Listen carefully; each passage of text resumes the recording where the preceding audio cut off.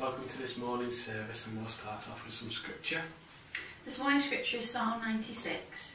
Sing to the Lord a new song. Sing to the Lord all the earth. Sing to the Lord, bless his name. Proclaim good tidings of his salvation from day to day. Tell of his glory among the nations, his wonderful deeds among all the peoples. For great is the Lord and greatly to be praised. He is to be feared above all gods. For all the gods of the people are idols, but the Lord made the heavens. Splendour and majesty are before him, strength and beauty are in his sanctuary. Ascribe to the Lord, O families of the peoples, ascribe to the Lord glory and strength. Ascribe to the Lord the glory of his name. Bring an offering and come into his courts. Worship the Lord in holy attire. Tremble before him, all the earth. Say among the nations, the Lord reigns. Indeed, the world is firmly established, it will not be moved. He will judge the peoples with equity. Let the heavens be glad and let the earth rejoice. Let the sea roar and all it contains. Let the field exult and all that is in it. Then all the trees of the forest will sing for joy before the Lord, for he is coming. For he is coming to judge the earth. He will judge the world in righteousness and the peoples in his faithfulness. Amen. And our first song is I Will Sing Unto the Lord.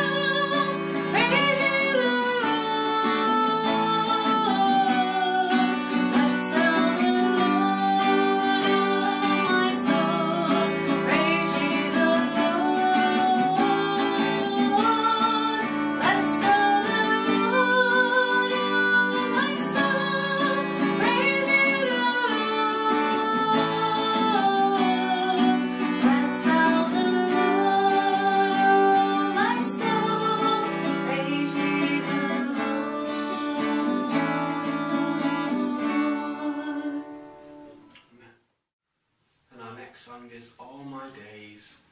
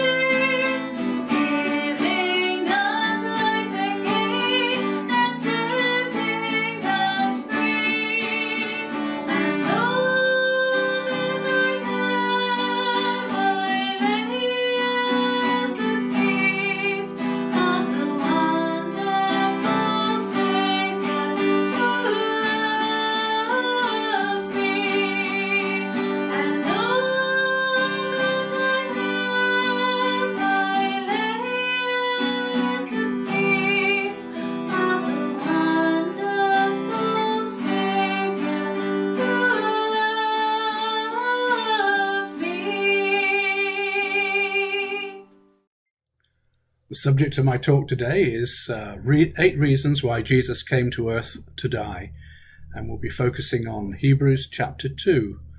But before we look at Hebrews 2, if you've got your Bibles with you, please open them at Romans chapter 5 and we'll read a few verses from that chapter. We'll read from verses 6 through 11. Romans 5, verse, starting at verse 6. For when we were yet without strength, in due time Christ died for the ungodly. For scarcely for a righteous man will one die, yet peradventure for a good man some would even dare to die. But God commendeth his love, commendeth his love toward us in that while we were yet sinners, Christ died for us. Much more then, being now justified by his blood, we shall be saved from wrath through him. For if, when we were enemies, we were reconciled to God by the death of his Son, much more, being reconciled, we shall be saved by his life. And not only so, but we also joy in God through our Lord Jesus Christ, by whom we now have received the atonement. Just before we proceed, let's pray and put this before the Lord. Father, we thank you for your word. We thank you, Lord, for the truth of your word. We thank you that your word draws us closer to you and helps us to understand you more clearly. And as we read your word today, Lord, I pray that uh, the words that I speak will be your words, not my words, and Lord, that they will speak to our hearts, opening your word to us, Lord, in a way that we can see Jesus more clearly and draw closer to you. In Jesus' name. Amen. In verse 8 that we've just read from Romans 5, uh, we see that God demonstrates his love toward us by the fact that while we were still sinners, Christ died for us. And in John 3:16, that well-known verse, we read, "For God so loved the world that he gave his only begotten Son, that whosoever believes in him should not perish but have everlasting life." Jesus' death on the cross is the ultimate proof of God's love. He came to earth to pay the ultimate price for our sins. But can we discover anything more about why Jesus had to come to earth as a man and die a humiliating and painful death? Hebrews chapter 2 gives eight reasons why this had to happen. So I invite you to turn with me to this chapter and join with me as we explore those reasons in detail. We begin in chapter 2 and we'll read from verses 5 through to 9a. Chapter 2 of Hebrews, beginning at verse 5. For he has not put the world to come, of which we speak, in subjection to angels, but one testified in a certain place, saying, What is man that you are mindful of him, or the Son of Man that you take care of him? You've made him a little lower than the angels. You have crowned him with glory and honour, and set him over the works of your hands. You've put all things in subjection under his feet. For in that he put all in subjection under him, he left nothing that is not put under him. But now we do not yet see all things put under him. But we see Jesus, who was made a little lower than the angels for the suffering of death, crowned with glory and honour, that he, by the grace of God, might taste death for everyone. In verses 6 through 8, Paul's reminding his readers of Psalm 8. Verse 6 quotes Psalm 8, verse 4 What is man that you are mindful of him? In context, this reads, What is mankind that you remember or think of him? Or we could put it another way What is God's divine purpose for mankind? We find the answer to this question in verses 7 and 8 of our chapter. Verse 7 quotes Psalm 8, verse 5 For you have made him a little lower than the angels, and you have crowned him with glory and honour. We're reminded that created man is made lower than the angels, both in time and in the order of creation. Verse 8 of Hebrews 2 quotes Psalm 8, verse 6, the beginning of it You have made him to have dominion over the works of your hands. God originally intended for everything to be put under man's authority.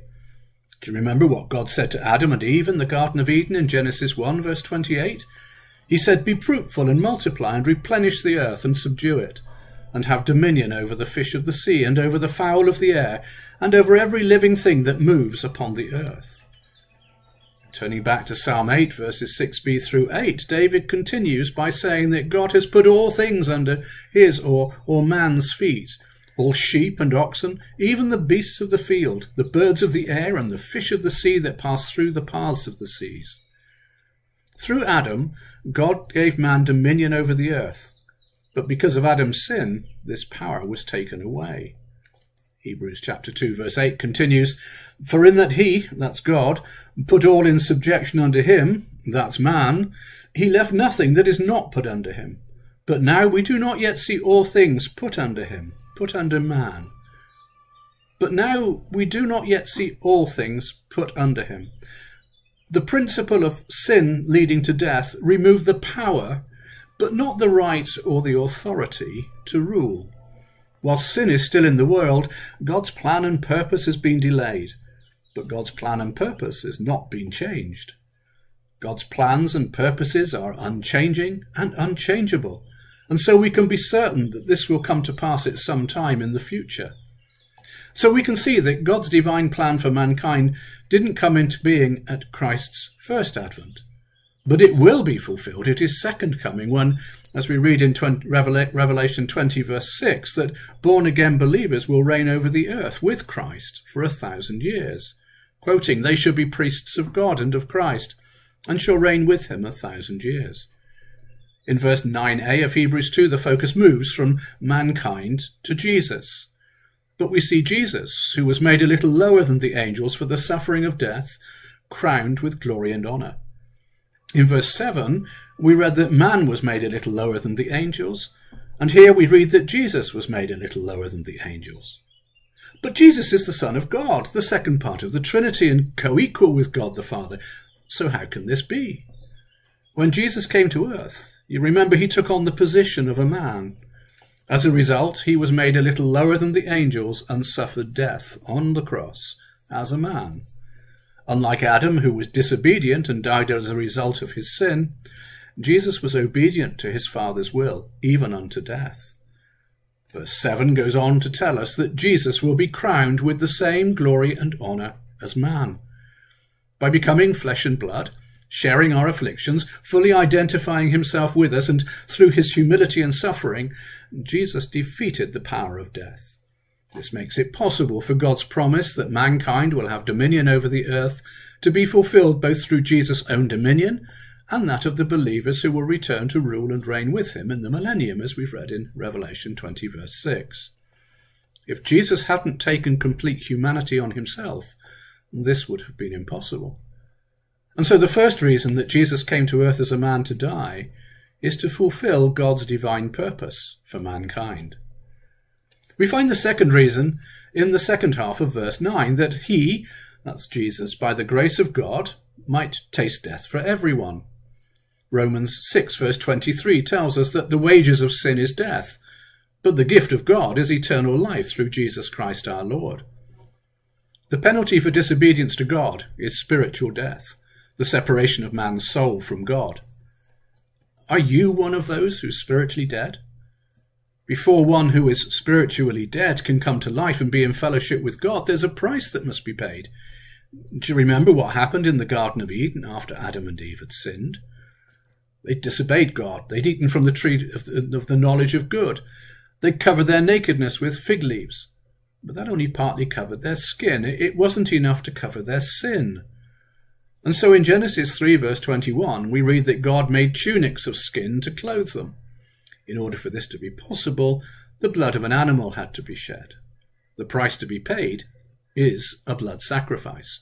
Hebrews 9, verse 22 reminds us that without the shedding of blood there can be no remission. Commentator David Guzik comments on this and says Adam and Eve were clothed in a garment that was purchased with the life of another.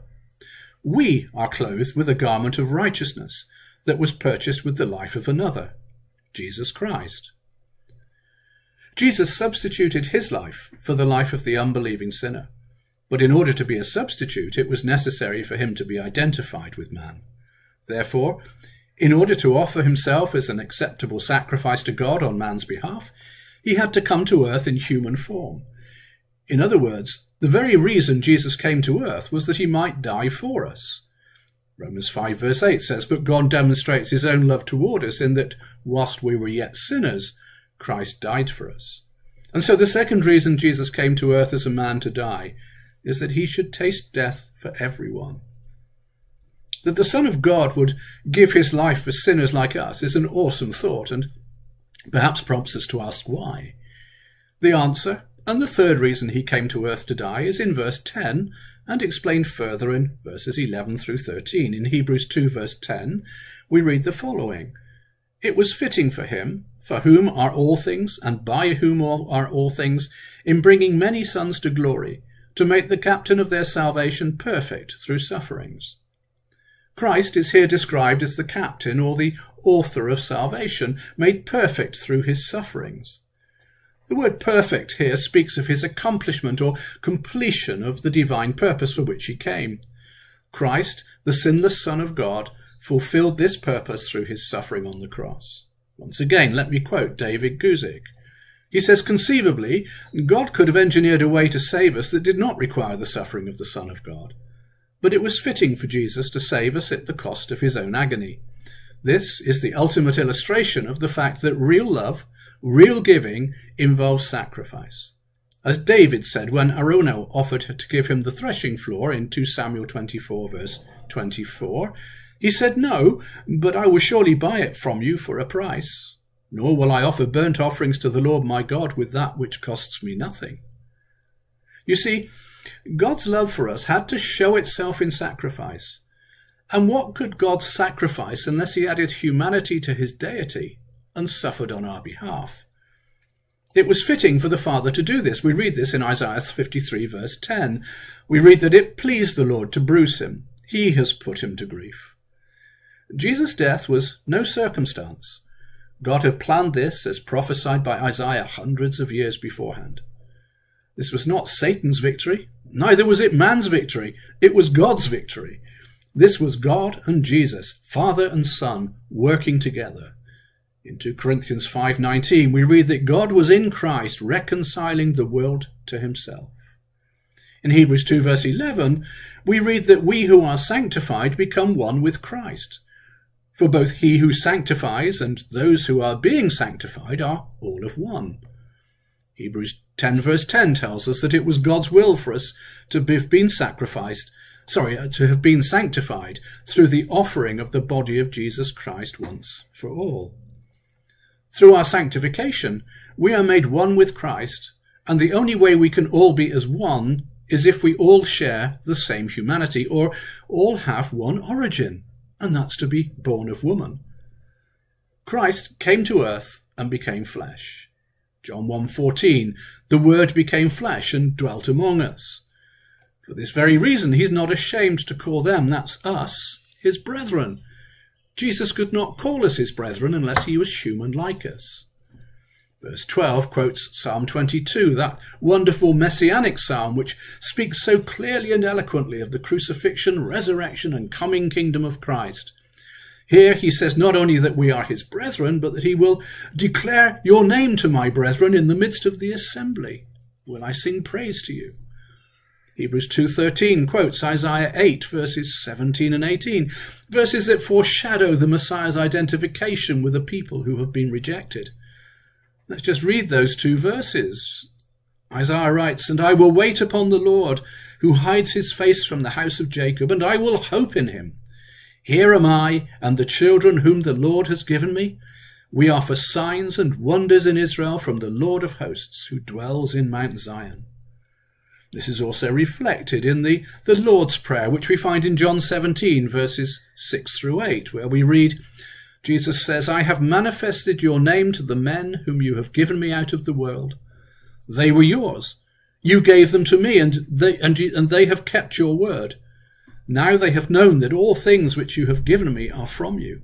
For I have given to them the words which you have given me, and they have received them, and have known surely that I came forth from you and they have believed that you sent me. Christ so identified himself with mankind that he desires to look upon those who were born again as his brethren. Christ is united to us, and we are united to him. We are spiritually one. The fact that he calls us his brethren means that we and the Son of God share the same humanity and belong to the same family. Those of us who are born again worship him, adore him, follow him, and hold fast to every word that he speaks. And he shares everything he has with us, even his glory. If we look at the world today, everything seems to revolve around so-called celebrities. Those who've made a rich living out of their looks or their ability to act in some unholy film or play. They are also worshipped, adored, and followed. People believe everything they say. But would those celebrities share their fame, their glory, and everything they have with their followers?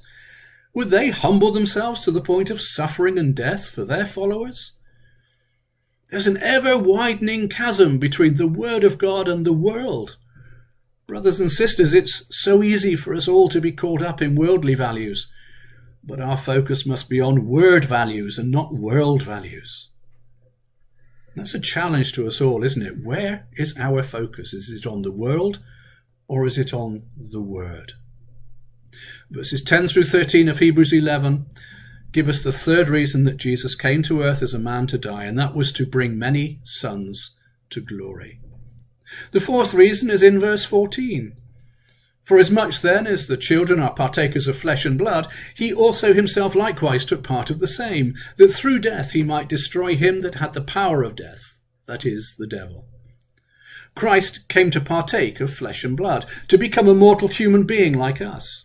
He did this so that on our behalf he might destroy him who had the power of death, the devil. Satan, brothers and sisters, is the only one who can separate man's soul from God through spiritual death.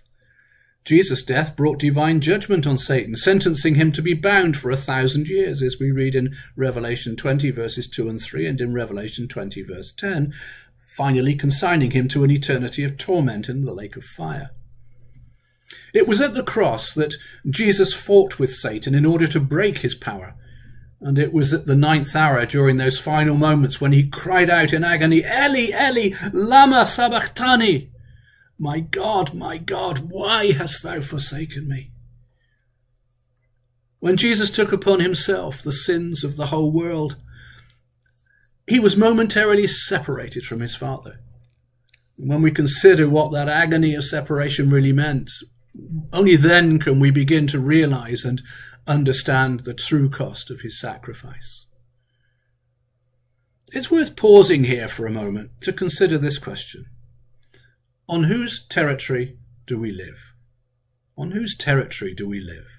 Remember, Satan is the prince of the power of the air and the ruler of the world.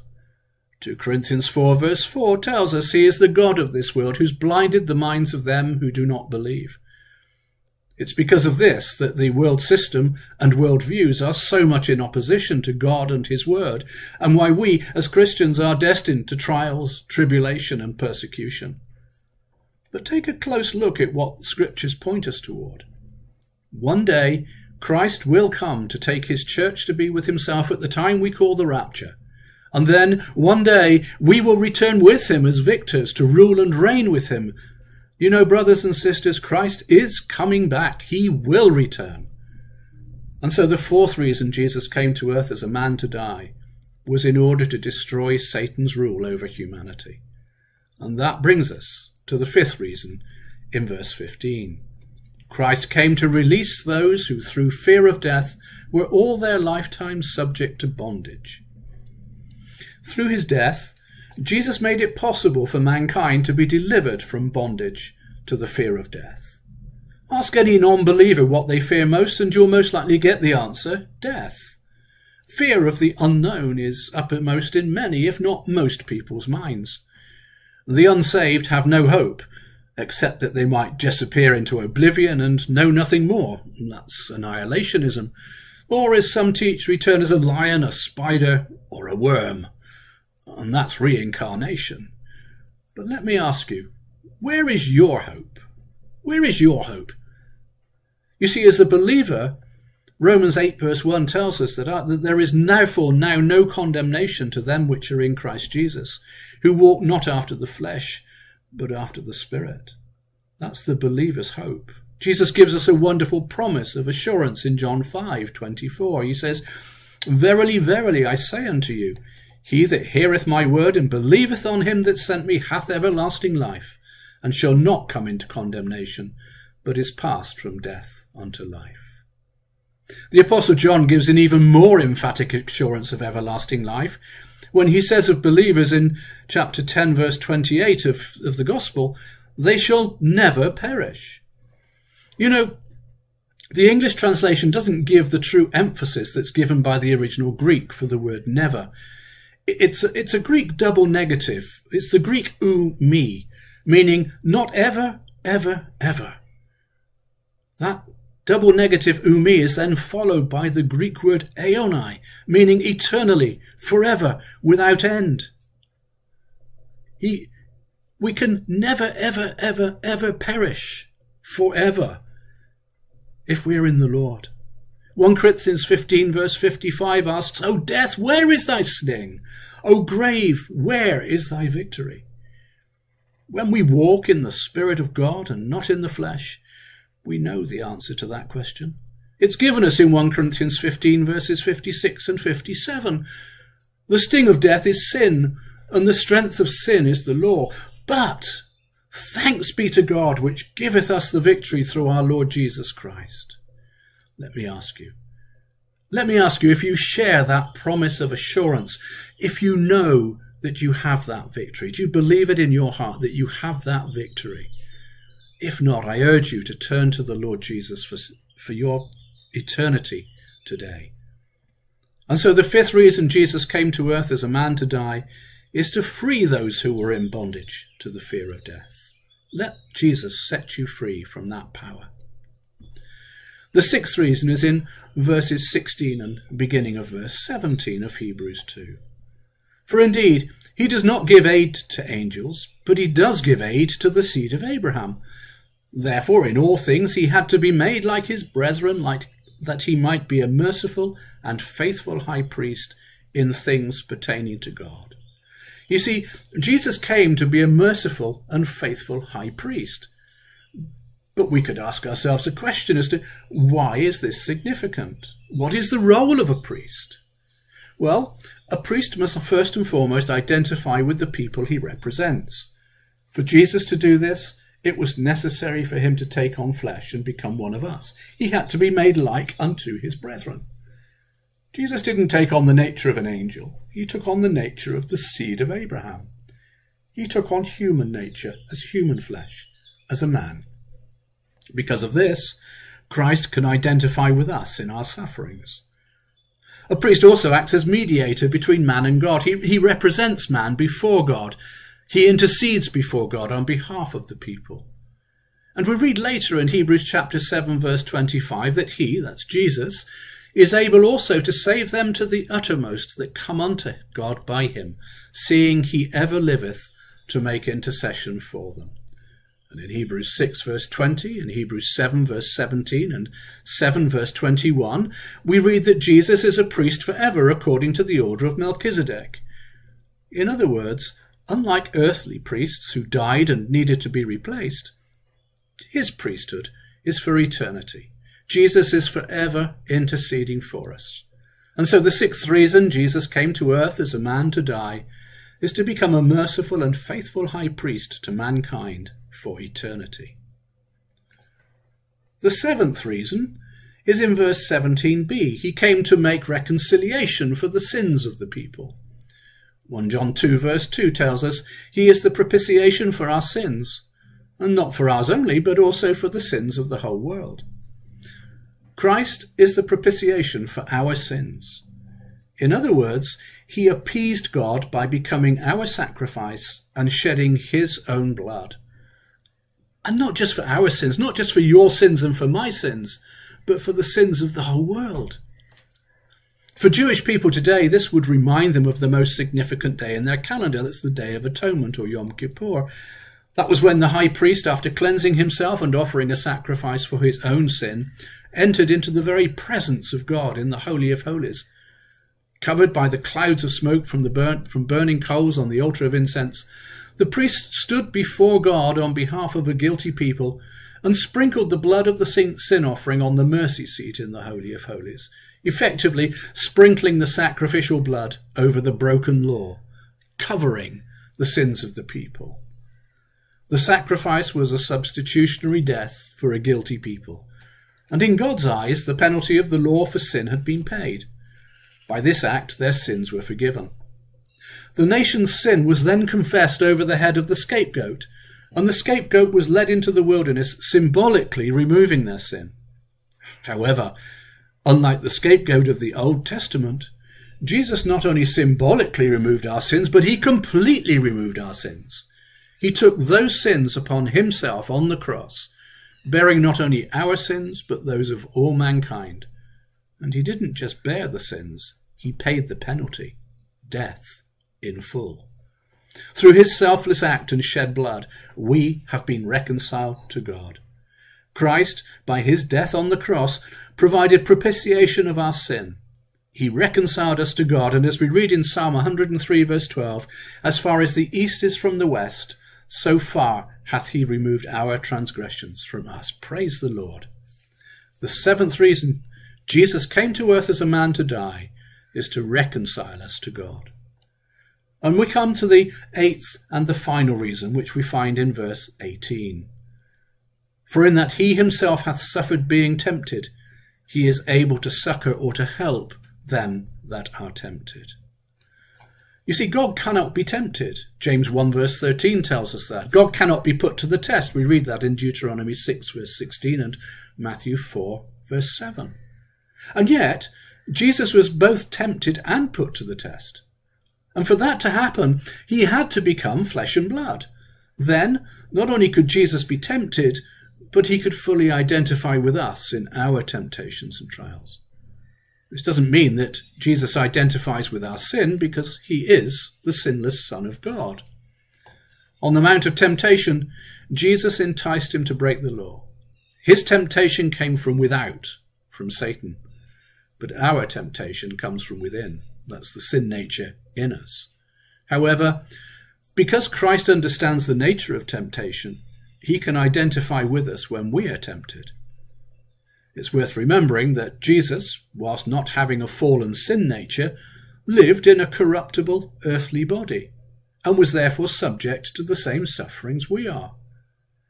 As a result, Christ is a sympathetic, compassionate, merciful, and faithful high priest, but his sympathy is related to our suffering and not our sin. We're constantly being tempted and buffeted by the world's values. Submission to sin's waiting around every corner, and if we're not ever watchful, we will succumb.